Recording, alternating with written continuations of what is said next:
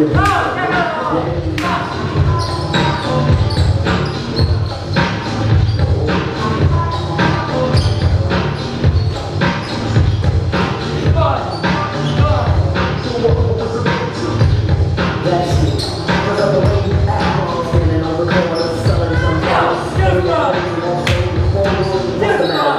boy.